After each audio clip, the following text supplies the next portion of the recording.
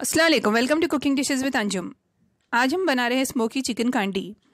अगर आपको हमारी रेसिपी पसंद आए तो इसे सब्सक्राइब ज़रूर कीजिए और बेल आइकन क्लिक करना ना भूलें, जिससे आपको हमारी नई रेसिपी की नोटिफिकेशन मिल जाएगी।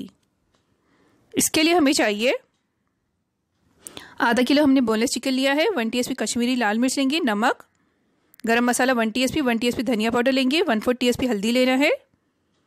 एक टेबल स्पून अदरक लहसुन का पेस्ट लेंगे, इसे हमने चिकन में डाल लिया है। पूरे ड्राई स्पाइसेस भी डाल देंगे चिकन में। तीन टेबल स्पून दही डालना है इसमें। ऑरेंज रेड फ़ूड कलर डालेंगे। अच्छी तरह से इसे मिक्स कर ले।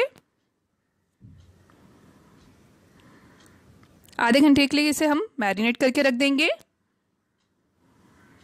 इसके बाद इसमें हम स्मोकी फ्लेवर दे देंगे। कवर करके रख दे पाँच मिनट के लिए। वुडन स्कीवर्स लेके हमने पीसेस को अरेंज करना है इसमें। एक स्कीवर के अंदर हमने तीन पीस लगाए हैं।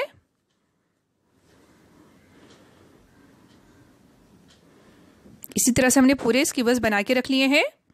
पैन में तीन टेबलस्पून तेल डालेंगे, ज़्यादा तेल नहीं डालना है। पूरे स्कीवर्स को इसमें रख लें।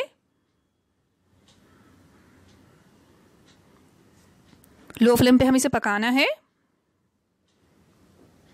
दो मिनट के बाद इसे फ्लिप कर लेंगे।